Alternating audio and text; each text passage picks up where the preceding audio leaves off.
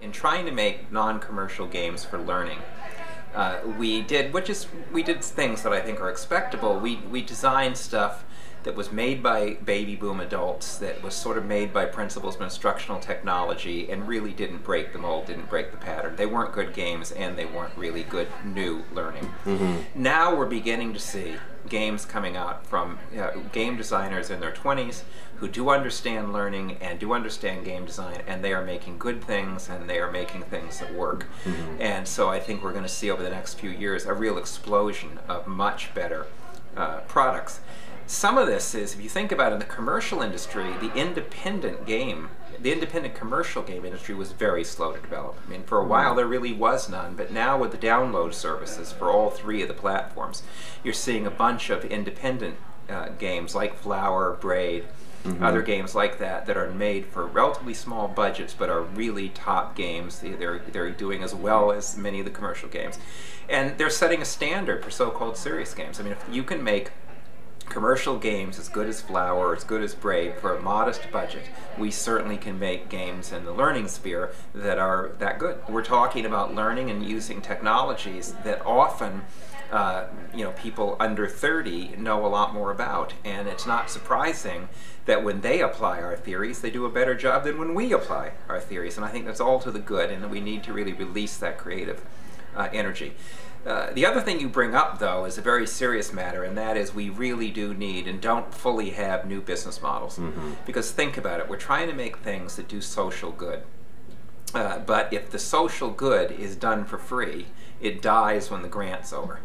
Right? And so we now realize that we have to think about how can we make products that uh, go on for a long period of time and therefore at some level earn enough money to sustain themselves and still have uh, good uh, uh, properties for equity and for doing social good. And uh, loads of people now are thinking about how we can get new innovative business models so that everybody wins. I think there's a number of models we can think of. They're going to be double bottom line businesses, businesses that are committed to social good by solving our educational problems, but committed to making money and making money not just to enrich individuals, but to keep this social good going. True of many academics, we didn't think that business models were important.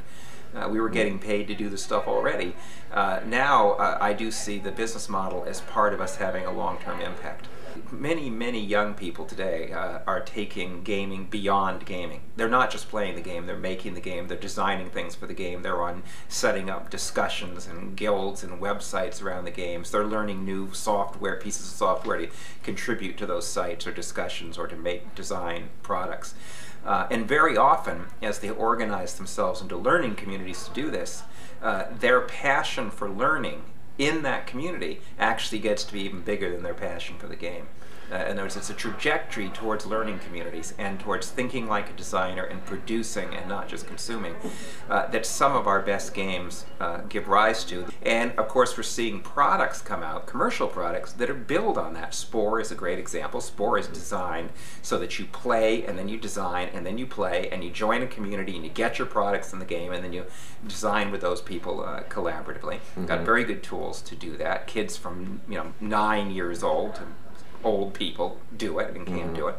Uh, Little Big Planet's another example. I mean, there's a whole bunch of products coming out that say, why don't you see playing and designing as alternative, as things you can do together and you can integrate together. So this becomes as much your product uh, as ours and becomes a community event, not just an individual event.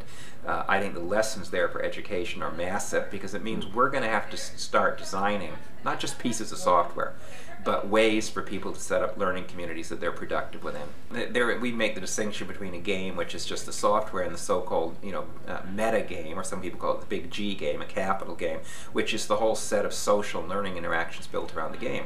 We used to argue, well, you know, if we're going to do games for learning, we've certainly got to have this community of learning built around the game. But now the commercial industry realizes you don't even make money if you don't build a learning community around the game. Mm-hmm. It's an integral part to gaming to participate in a collaborative community uh, around the game.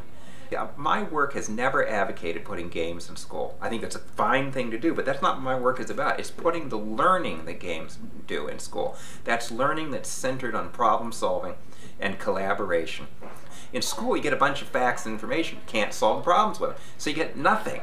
Uh, but the interesting thing is if I make you solve a problem and I you know really design the experience of the problem solving to guide you and mentor you, which is what good game design does, I get problem solving and I get facts and information because you've got to learn that to solve the problems and I get you collaborating in a community where you might even innovate. You're going to design new things and do new stuff. Uh, that's I want to see that model go to school. It doesn't have to have a game in it. We can we can do that in the world in many different ways. The other thing I want to really stress about games is uh, because this is now as as industries are building up to do this, it, it is not a good idea, in my opinion, to try to teach a whole curriculum through games. It's too expensive. Uh, we want to learn in many different ways. Games are particularly good for preparation for future learning.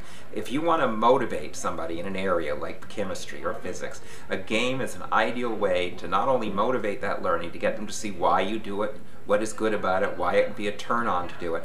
It also prepares them to get ready for learning in the future. That future learning doesn't all have to be in games.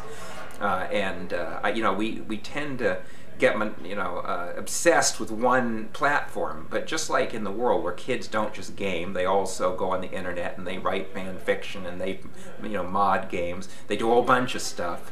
Uh, we want our curriculum to be a whole bunch of stuff.